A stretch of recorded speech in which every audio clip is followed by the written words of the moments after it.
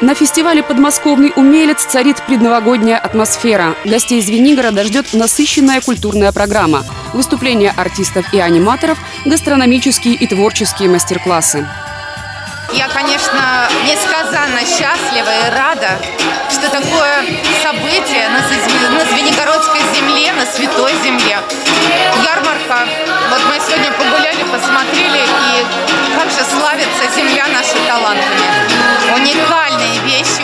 Фестиваль «Подмосковный умелец» проходит в Звенигороде уже второй раз. В минувшем году его посетили более 40 тысяч человек из Одинцовского городского округа.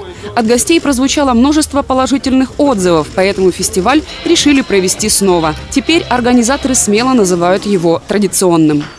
Жители очень полюбили это мероприятие и ну, получали просьбы, обращения э, повторить его в этом году. И вот, собственно говоря, второй умелец состоялся. В рамках фестиваля работает ярмарка, на которой можно приобрести разнообразные экологически чистые продукты.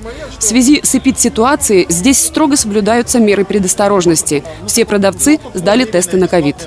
Абсолютно все прошли тест, то есть была собрана такая комиссия, то есть скорая приехала, нас посадили, я специально даже это заснял, мне было очень приятно, потому что я удивлен был, что такое внимание к нам, то есть нас всех проверили, а, мы э, сдали тест, то есть нам протоколе взяли кровь, забор сделали, и буквально тут же 5, за 5 минут все уже рассказали нам, что он, ну кто, ну не больные, все нормально, все хорошо.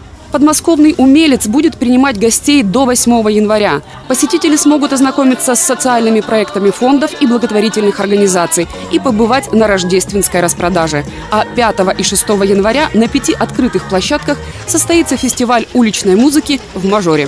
Елена Кравченко, телекомпания «Одинцова».